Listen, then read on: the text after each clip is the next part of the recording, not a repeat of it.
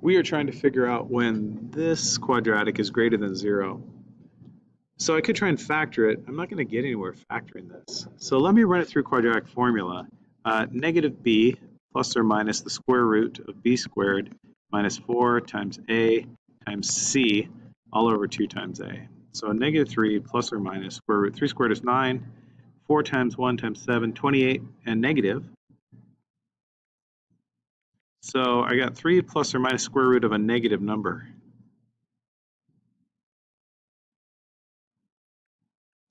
That means no solution.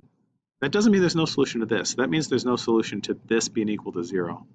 So if I think about that, that means that this doesn't have any x-intercepts.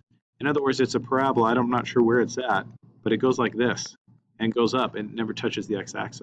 So it looks like this is actually always greater than 0. So I'm going to say any real number, there's an infinite number of solutions. No matter what I plug into here, as long as it's real, this will be greater than zero.